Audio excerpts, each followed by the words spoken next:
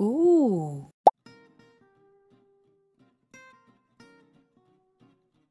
Hey all, so today I want to tell you guys about Jamaican black castor oil. I've been using Jamaican black castor oil for years for so many things and I'm just, I'm like Uh-uh. how come I haven't done a video on it? How come I have not talked about this? How come nobody has pointed this out to me? Like I need I need to talk about this. Now before we get into all the nitty gritty, alrighty, I know, I know you're excited. It's alright, it's alright. We'll get there eventually. I just want to explain to you what Jamaican black castor oil is. Basically, it's a very, very close relative to castor oil, except the castor bean is roasted and it becomes very dark. It's actually a more potent form of castor oil. It is very, very thick. It is very goopy, very, very dark in color, and it has a very roasted, like smoky, nutty smell to it. Alrighty, now that you know what it is, now I can get into the good stuff.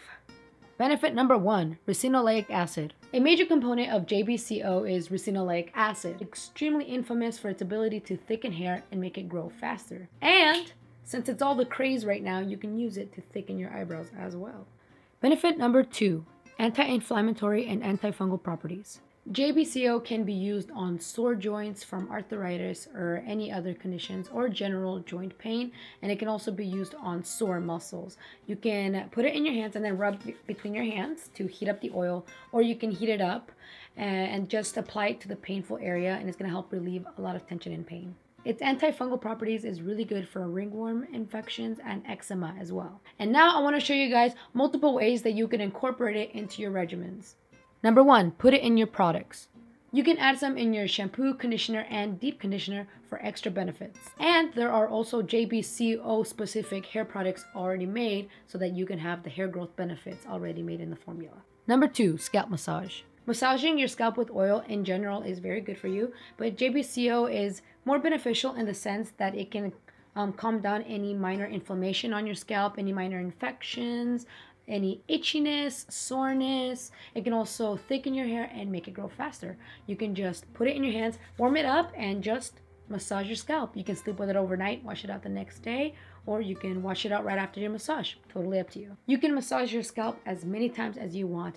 Once a week, twice a week, every other day, every day, whatever you want. Number three, your body. You can apply JBCO directly onto your skin, but it is very, very thick, so you could dilute it with another carrier oil uh, if you want, like jojoba oil or olive oil or coconut oil or rosemary oil, whatever you want, just to dilute the solution so it's easier to spread on the body. Please don't lick it, it doesn't taste good. Number four, use it as a styling product. The first one is a pre-poo. A pre-poo is a treatment that you put in your hair before you take a shower to add extra benefits and nutrients to your hair. So you can just saturate your hair from root to tip in JBCO, leave it in for maybe like maybe 10, 30 minutes or an hour, up to you, and then wash it out. The second way is to use it as a split end sealant. So you go into the shower, you wash, you condition, you get out, right? So grab a little bit of Jamaican black castor oil, massage it in your hands, and then just rub it on your very ends like this. Just like this.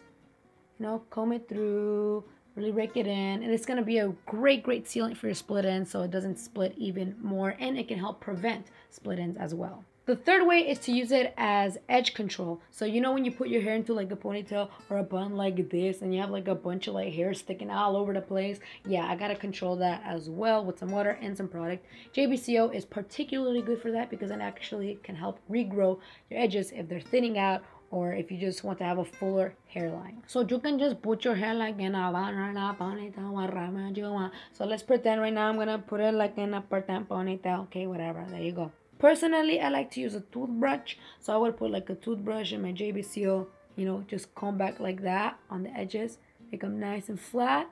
And that can also help at a treatment at the same time. How nice is that? Alrighty, y'all. That was a lot of information. And that wasn't even half of it because JBCO is legit the best. It will always be a staple in my life, and I hope that it's a staple in your life too. Now, I know I've thrown a lot of information your way, but I'm not quite done yet. Yes, I know I need to shut up, but this is important, I promise. JBCO is very, very popular in the curly hair community. It is very sought after, and a lot of companies know that and will take advantage of people and make fake JBCO in which they'll just grab castor oil and dye it black. So please, please, please check the ingredients of the oil that you buy and make sure that the first main ingredient is roasted castor beans or castor beans and make sure that there is no black dye that has been added to the oil. In my area, I have only seen one main brand of JBCO in one store.